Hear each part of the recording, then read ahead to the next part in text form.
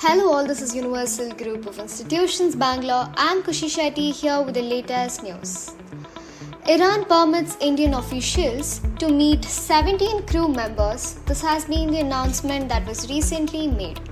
So, Iran has assured Indian officials access to detained crew amid rising tensions. India adopts neutral stance, faces expectations from Israel. So, Iran has pledged to soon permit Indian officials to meet with the 17 Indian crew members detained after seizing the MSC Aries, which is an Israel linked ship. External Affairs Minister S. Jaishankar intervened discussing the issue with both Iranian as well as Israeli foreign ministers.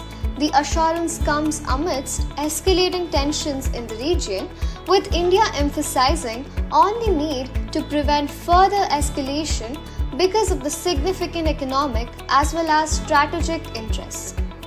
Jaishankar emphasizes the importance of the region for the global economy, highlighting India's substantial interest in the Gulf region as well as maritime trade routes about the Caspian Sea. So, Caspian Sea is the Earth's largest inland body of water by surface area. It has been bordered by Russia, Azerbaijan, Iran, Turkmenistan, as well as Kazakhstan.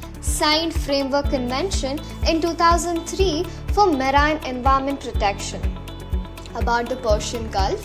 The Persian Gulf is an arm of the Arabian Sea situated between southern western Iran as well as the Arabian Peninsula.